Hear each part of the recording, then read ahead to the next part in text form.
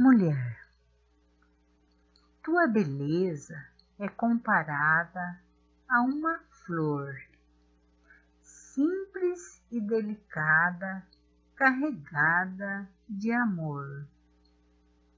Ao mesmo tempo, feita rocha firme na dor. Ah, se todos vissem como é grande o seu valor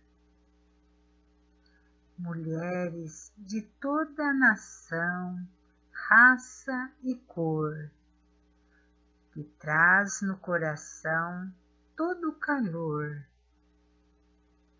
que muitas vezes sofrem abusos, violência, sem temor. Filhos, a ela dê um lugar especial seus exemplos posto num pedestal. A mulher mãe é como um valoroso cristal, deve ser apreciado como tal. A mulher era considerada um sexo frágil e seu lugar era como rainha do lar. Hoje ela está ocupando cargo em todo lugar.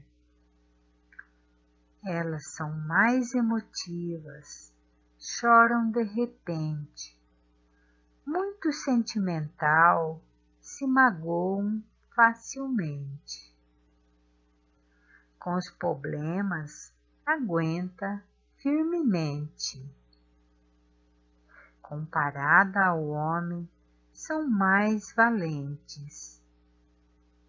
No seu trabalho se dedicam em função igualmente, mas seus salários às vezes é bem diferente, pois o preconceito está sempre à sua frente. A mulher tem a doçura e põe o homem à loucura. Por uma boa esposa, ele está sempre à procura. Elas, para seus olhos, são belas criaturas. Nem sempre querem riqueza e luxúria, mas estão à procura de uma vida de fartura. Para isso, não medem esforços, acumulam funções, chegam em casa cansada e com muita disposição para anular a família, dar uma boa educação. Sempre atenta a todos e com muita dedicação. Essa é a verdadeira mulher de bom coração.